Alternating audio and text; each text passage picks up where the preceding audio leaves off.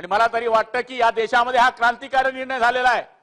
आठ लाख कोटी रुपये देणारा पहिला पंतप्रधान या देशामध्ये मिळाला की ज्याने जे पाप मागच्या काळामध्ये झालं जे लोक बोलतायत समोरून त्यांचं सरकार होतं साधं पाणी नाही देऊ शकले.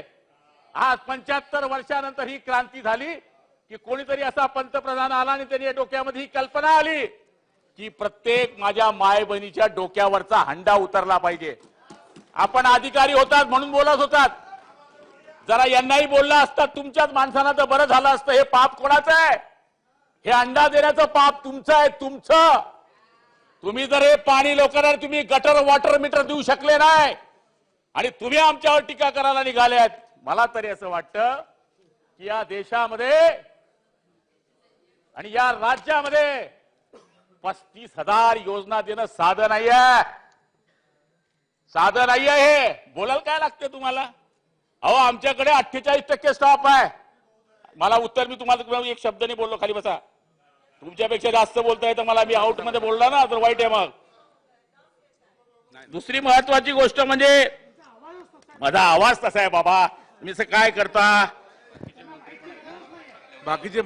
नाना पटोले सांगा साहेब. नाही नाही आता अरे.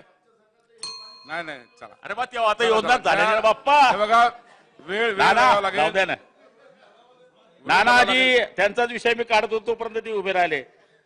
नानाजींनी या ठिकाणी खोदकाम होत असताना काही कारण येतात त्या ठिकाणी शक्य होत नाही. त्यामुळे विशेषतः दुर्गम डोंगर भागामध्ये सौर ऊर्जेवर. नाना तुम्ही जे सांगितलं ते आपण सौर ऊर्जेवर प्रत्येकाला सांगितलं आहे. मोठे मोठे गावं असे काही की त्यांनी सौर ऊर्जेवर अ, या ठिकाणी आपल्या योजना जिथे सुचवल्या. आम्ही तर हे पण सांगितलं की एवढा एखादा जिल्हा परिषद गट आहे आणि सरकारी जागा तिथे आहे. तर सगळे मिळून त्या ठिकाणी एक सोलर सौर ऊर्जेचा प्रकल्प जिल्हा परिषदने आमच्याकडे प्रस्ताव दिला तर त्याला सुद्धा आम्ही मान्यता द्यायला तयार आहोत बांधील आहोत. पण निश्चितपणाने खालच्या पद्धतीनं त्या ठिकाणी या ठिकाणी आलं पाहिजे आणि एवढ्या करता आम्ही पालकमंत्र्यांना तिथे अध्यक्ष केलेला आहे. आमदारांना त्या कमिटीमध्ये सभासद ठेवलाय. त्यामुळे आपण हे सगळे राखलदार म्हणून आपण सुद्धा त्या गोष्टीकडे लक्ष दिलं पाहिजे. आणि आपल्या माध्यमातून ज्या सूचना येतील त्या सत्य मानून पुढच्या काळामध्ये आम्ही दुरुस्त करण्याचा या ठिकाणी प्रयत्न करू. रस्त्याच्या जर सुद्धा इन्क्लूड केला असेल की आमचा रस्ता खोदलाय त्याच्यामध्ये इस्टिमेटमध्ये येऊ द्या आम्ही तो रस्ता बुजतोय. पण तुम्ही जर इस्टिमेटमध्ये ते आलं नसेल तर त्याला आम्ही काही करू शकत नाही. पण तरी सुद्धा तुम्ही जर सुचवलं तर आम्ही ती दुरुस्ती करू शकतो. त्यामुळे निश्चितपणाने सुनील शेडके साहेबांनी या ठिकाणी चौतीस त्यांच्या भाषणामध्ये सांगितलं की बऱ्याच पद्धतीने बऱ्याच ठेकेदारांना एक एक ठेकेदाराला भरपूर भरपूर कामं दिली आहे. आता मला साहजिक सावा की आम्ही रजिस्ट्रेशन देताना मर्यादित कॉन्ट्रॅक्टर पहिलेपासून असायचे. आता योजना एवढ्या निघाल्या तर कॉन्ट्रॅक्टर तेच. तरी सुद्धा आम्ही सुशिक्षित बेरोजगार जे आहेत ज्यांना जे इंजिनियर झाले आहे सिव्हिल इंजिनियर आहे त्यांना डायरेक्ट दीड कोटीचं लायसन दिलं. एवढंच नाही. तर एमजीपी मध्ये जो माणूस रिटायर झालाय त्या माणसाला सुद्धा आम्ही लायसन दिलं. पण शेवटी जर एक तालुक्यामध्ये दोन दोनशे योजना असतील तर ठेकेदार तर तेच आहे. त्यामुळे साहजिक आहे की एका माणसाला पाच कामं दहा कामं हे जाणारच आहे. त्याच्यामध्ये सुशिक्षित बेरोजगार आहे. आपणच म्हणतो की सुबेवर कामं पडले पाहिजे. सुबेवर कामं आले पाहिजे. सुबेला काम दिलं तर एखाद्या वेळेस त्या मुलाकडे गल्ला नसतो. पैसा आम्ही देताना टीपीआय झाल्याशिवाय पैसा देत नाही. आदरणीय शेळके साहेबांना सांगेल की पंचवीस टक्के काम झाल्याशिवाय आम्ही बिल देत नाही. त्यामुळे कोणी माईचा लाल सांगू शकत नाही की तुम्ही ऍडव्हान्स बिल दिली. थर्ड पार्टी झाल्याशिवाय आम्ही बिल काढत नाही. पंचवीस ते पन्नासच्या दरम्यान सुद्धा जोपर्यंत टीपीआय होत नाही तोपर्यंत आम्ही बिल देत नाही.